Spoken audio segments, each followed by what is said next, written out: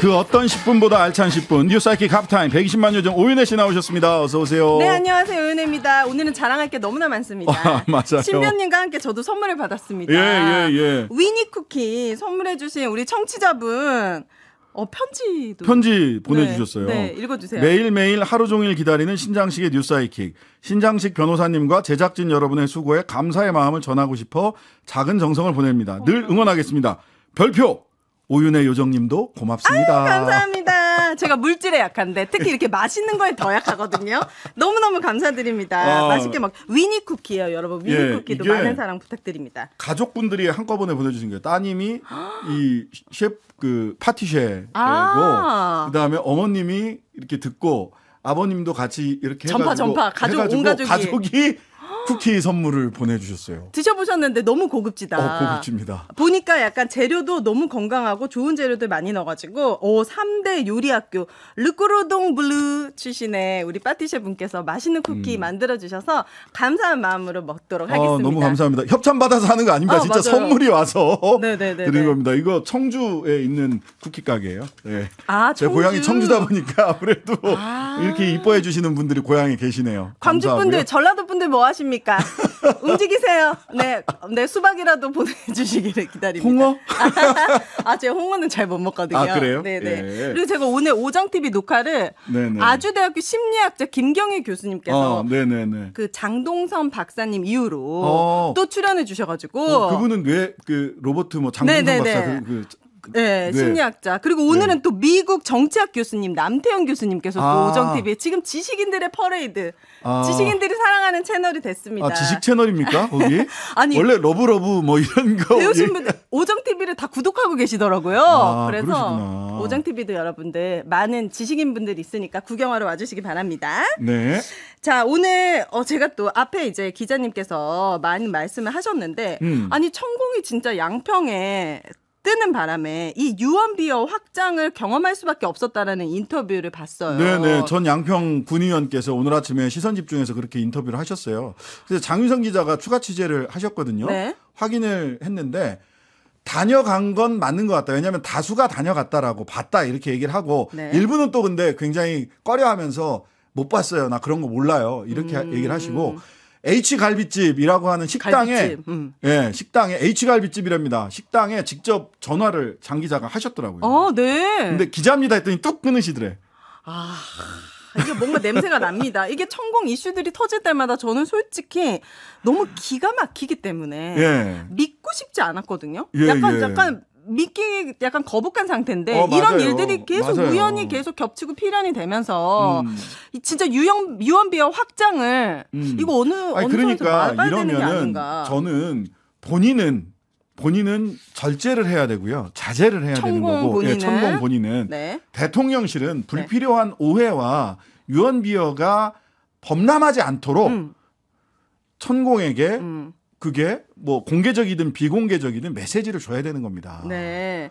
그런데 지금 김종대 교수님 천공 이슈 관련해서 오늘 조사 받으 오늘 조사 받으셨어요. 부승찬 전 국방부 대변인 기소가 됐어요. 기소됐어요. 아니 이게 왜 기소됐어요. 거꾸로 가는 겁니까? 그러니까 천공은 H갈비집에서 양평에 그 유력 인사들 한 20명이랑 같이 밥 먹고 네. 어 그 이슈에 대해서 얘기한 사람은 지금 조사받고 기소가 조사받고. 되고 예. 김종대 전 의원 같은 경우는 실은 오늘 뭐 조사가 일찍 끝나면 저희들도 한번 모실까도 생각을 해봤었는데 뭐 일정이 어떻게 될지 몰라서 못 모셨는데 네. 결과적으로 보자면 김종대 전 의원은 라디오 나가서 그런 얘기 했다가 어디 갔다 왔다 나는 네. 확실하게 근거가 있다. 어, 취재한 취재원이 있다 이렇게 얘기를 했는데 어쨌든 음. 대통령실에서 나서서 고소고발을 했어요. 심지어는 바이든 날리면 이 건도 대통령실에서 고소고발하지 않았어요. 근데 천공에 대해서는 직접 대통령실이 직접 했습니다. 음. 대통령실에서 직접 했고요. 그다음에 부승찬 요 분은 지금 2심 가면 내가 이길 거다 이렇게 얘기를 해요. 왜 2심 가면 내가 이길 거냐라고 얘기를 하냐면 네. 1심이 군사법원이에요. 아 그럼 좀 다릅니까? 군사법원은 이제 군대 내에서 있는 거니까 민간 법정하고 다르, 달라서 네. 군에 일반적으로는 군사법원에서는 판결문을 쓸 때 법관 보다 더 위에 부대 음. 지휘관이 있어요. 네.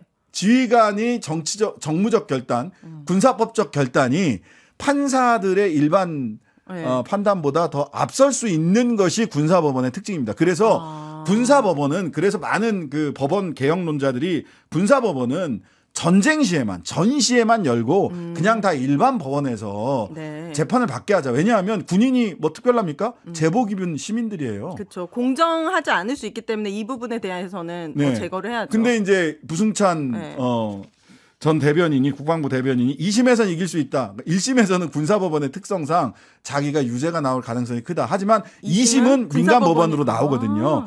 민간법원에서는 내가 이길 수 있다. 음. 이렇게 지금 자신을 하고 있는 겁니다. 어쨌든 천공은 양평 H갈비집에서 그 동네 음. 분들 한 20분과 밥을 5월 달에 먹었다라고 하는 네. 증언들이 네. 많이 나오고 있다. 네. 그러나 김종대 김종대는 오늘 조사받고 부승차는 기소됐다. 네. 묘한 대조를 이루고 있다. 네, 천공 이슈는 우리가 끝까지 한 번더 어, 확인하면서 지켜보도록 하겠습니다. 네. 자, 두 번째는 이런 논란들이 계속되고 있는 가운데 우리 노동자들이 어. 안전하게 퇴근을 못 하고 심지어 예. 숨지는 일들이 반복되고 있습니다.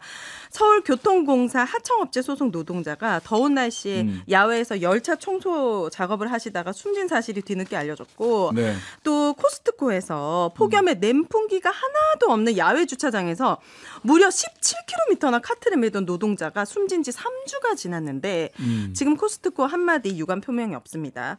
마지막으로 하, 이거는 정말 대를 이어서 또 이런 산재를 당하셨어요. 한 노동자가 지난 3일 조선업체 현장에서 추락을 해서 사망을 했는데 이분은 아버지가 2003년도에 건설 현장 추락 사고로 사망을 하신 거예요. 부자가 모두 다 추락 사고로 사망을 한 거예요. 이게 보니까 후진국형 사고가 네.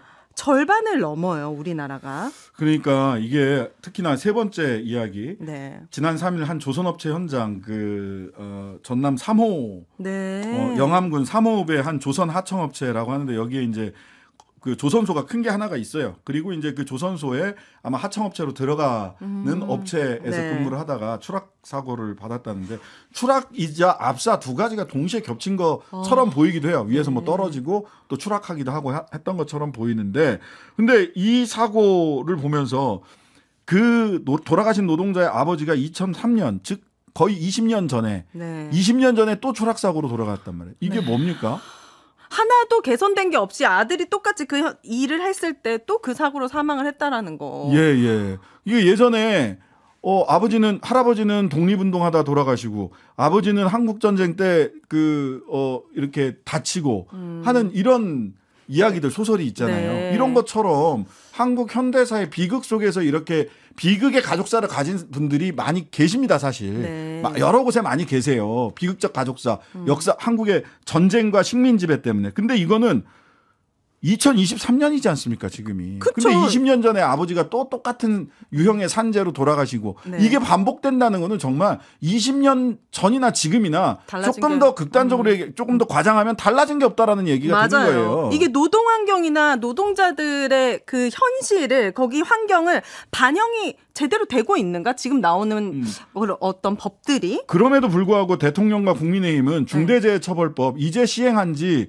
얼마 안 됐습니다. 네. 그래서 겨우겨우 유죄 판결 나온 게 한 한 건인가 밖에 없어요. 그러니까 네. 징역에 감옥까지 간 판결이 이제 한 건 나왔는데 1심에서 그것도 2심, 3심 가면 어떻게 될지 모르겠는데 경영계 사기를 꺾을 수 있, 으니 네. 중대재해처벌법 이거 바꿔야 된다. 완화해야 된다. 그러니까 엄정 수사가 경영에 위축될 수 있다면서 중대재해처벌법에 대해 선보아야 된다. 예, 그리고 아. 그 책임을 면탈해줘야 돼. 사람이 좀 죽고 다쳐도 책임을 면해줘야 된다. 왜 어떻게 하면 면해줄 거냐? 중대재해 처벌 산재 예방 그 프로그램을 하고 네. 그리고 거기에서 검인정을 받으면 산재 예방 프로그램을 잘 하고 있어라고 해서? 검증 검정을 받으면 네. 무조건 면해줘야 된다. KS 마크처럼요? 예, 마크처럼. 근데 그 검정을 누가 해주냐? 누가 해줍니까? 법무부 장관이 하는 안입니다. 아니 어떻게 생명에 더 소중하고 더 안 중요하고 이런 게 있습니까? 똑같은 국민인데 현장의 목소리가 반영되어 있지가 않아요. 예. 그리고 그 서울교통공사 야외에서 열차 작업, 청소 작업하다 숨진 거, 그 다음에 코스트코 네, 카트 카트. 밀던 노동자 예, 17km 밀었다는데 이거는 온열 질환이라고 보통 얘기를 하거든요. 온열 질환 우리가 일하는 데서 가장 더운 데가 어딘 줄 아세요? 제가 지금까지 들은 바로는 네. 아 활주로 에서 일하는 분들입니다. 아 비행기? 예, 비행기 활주로. 네.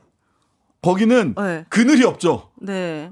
쉴 수 있는 데가 비행기 날개 밑에밖에 없어요. 아, 그렇군요. 이번에 지금 교통공사 하청업체 숨진 분이 동료에게 너무 더워서 미치겠다고 문자를 보내기도 네. 했었다. 예. 이렇게 여름이 되면 온열 질환에 시달리는 분들이 그리고 실제로 돌아가시는 분들이 생깁니다. 네. 하청업 그 이런 분들을 보호하지 못하면서 우리가 문명 국가 라고 할 수 없죠. 할 수 없습니다. 선진국 대열에 올라갈 수 없죠. IAEA 보고서를 믿어야 문명 국가가 아니라 이런 노동자들의 죽음을 막아야 문명 국가입니다. 이, 아 지금이라도 막아야죠. 2023년도입니다. 네. 우리 국민들도 이 부분에 대해서 꼭 관심을 가져줬으면 좋겠습니다. 네. 자, 3부에서는 김준영 전 국립외교원장 만나보겠습니다. 자, 오늘의 하프타임은 여기까지. 감사합니다. 감사합니다. 하루 종일 기다려지는 진짜 시사. 평일 저녁 6시 5분 신장식의 뉴스 하이킥.